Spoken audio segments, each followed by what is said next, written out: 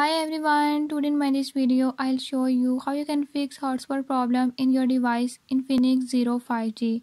In this device Infinix Phoenix 5G if you're having any issue like your hotspot is not working or is not connecting don't worry I'll show you how you can fix it. Before I start if you're new to my channel don't forget to subscribe and press bell icon. Watch complete video and learn how you can fix it.